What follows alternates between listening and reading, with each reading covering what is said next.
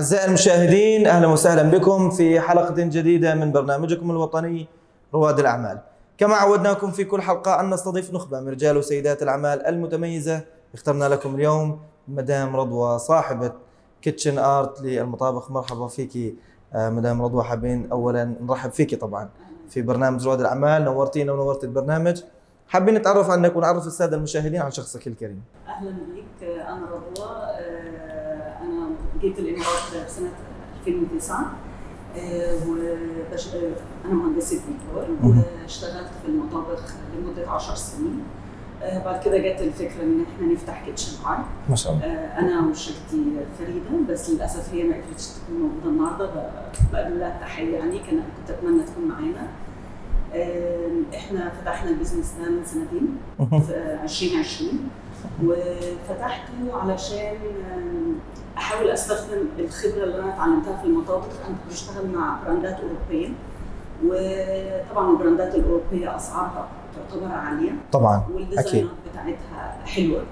فحاولت آخد mix بين الاثنين إن إحنا نحقق التصميم ال- اللي هو ال modern اللي الناس كلها بتدور عليه موجود على الإنستجرام على بنترست بس باسعار آه، يعني. معقولة يعني. لجميع العملاء طبعا حابين أيضا ندخل في التفاصيل ونتعرف عن الخدمات المنتجات اللي بتقدموها للعملاء في دولة الإمارات آه، إحنا آه، يعني بنصمم المطبخ يعني بيجي لنا مثلا كلاينت بنبدأ نعرض عليه التصاميم بتاعتنا القديمة أو نشوف هو جاي لنا تصاميم إيه بنصمم مطابخ آه، خزاين ملابس آه، وحدات حمام TV units بالإضافة إن إحنا بنعمل furnishing و styling لل- للبيوت بس دي بنعملها يعني on a very small scale يعني.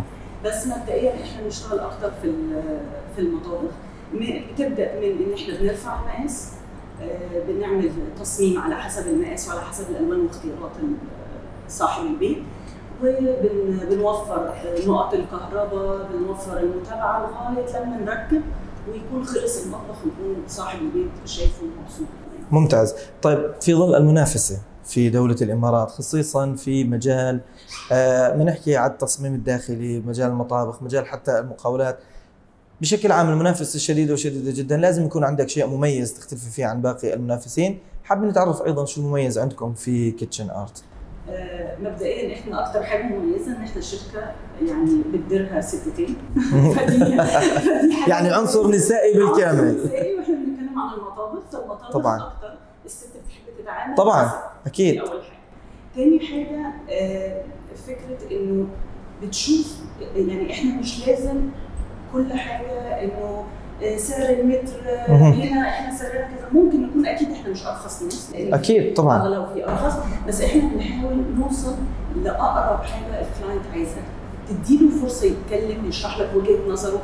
آه، بعض الناس تبقى مركزة أكتر على البيع صحيح. مش على مش على ال client نفسه. إحنا بنحاول إن إحنا نرضي ال client الأول بتصميم حلو. وبعد كده نشوف التصميم نفسه يقدر يكون بكذا سعر مش. ضروري إن التصميم عشان حلو ومودرن وكده يبقى برقم كبير في كذا آه، يعني خامة تقدر تحقق نفس التصميم. بأسعار أقل بأسعار أكتر على حسب اختيار. ممتاز طبعا هاي بناء على الخبرة اللي كتير بالظبط. الموجودة عندكم من زمن طويل يعني. حضرتك عم تحكي من 2013 في مجال المطابخ يعني خبرة كبيرة وكبيرة جدا. خصيصا أنا حابب أيضا أنوه على موضوع العنصر النسائي. وفعليا حاجة آه، آه، ال market لأنه يكون في عندك أنت عنصر نسائي للشغلة اللي فعليا بتخص النساء.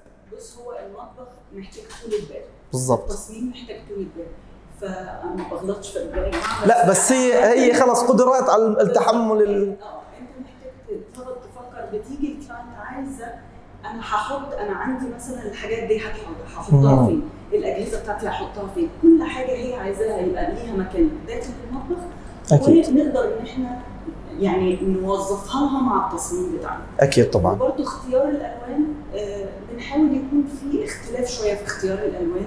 نحاول نستخدم الأفكار اللي موجودة يعني لما بيجي لك حد بصورة ما ينفعش إن أنت تقول له لا ما أقدرش أعملها. مهم. نحاول إزاي نوصل لها يعني ب- بأقرب شكل ممكن. أكيد أكيد أكيد طبعا.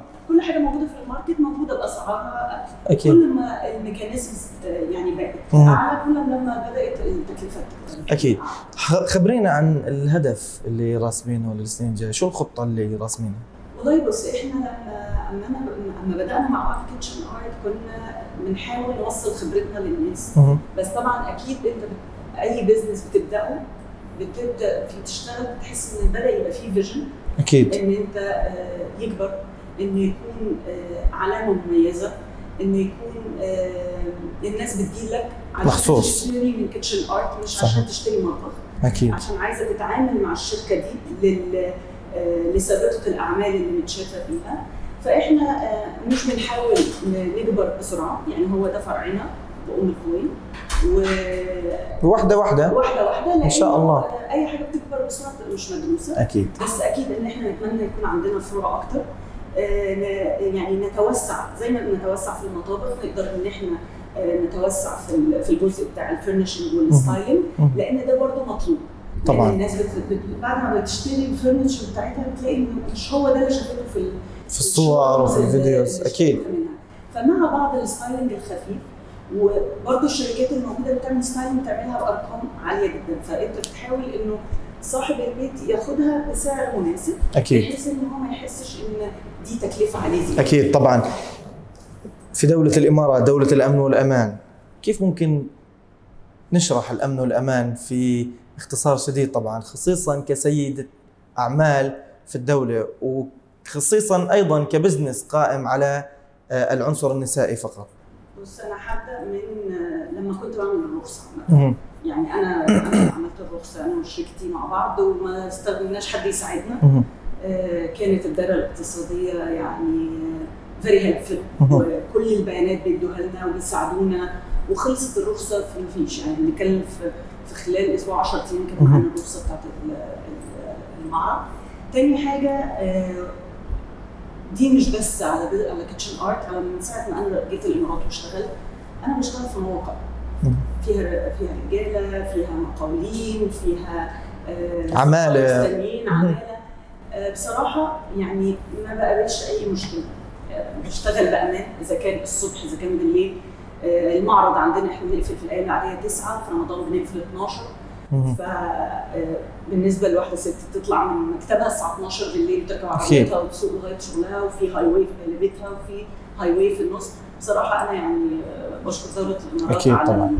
يعني الأمن وإن أنت تفتح business في دولة غير دولتك وتحس إن أنت في دولتك في فعلا. دولتك بالظبط. بالفعل يعني طبعاً. دي حاجة أنا ما أقدرش أنكرها ويعني فعلا هم نجحوا إنه يحققوا ال business model إن أي حد عنده استعداد إنه يفتح business يقدر يفتح business وهو مبسوط وبياخد حقوقه وبيعمل صحيح. طبعا.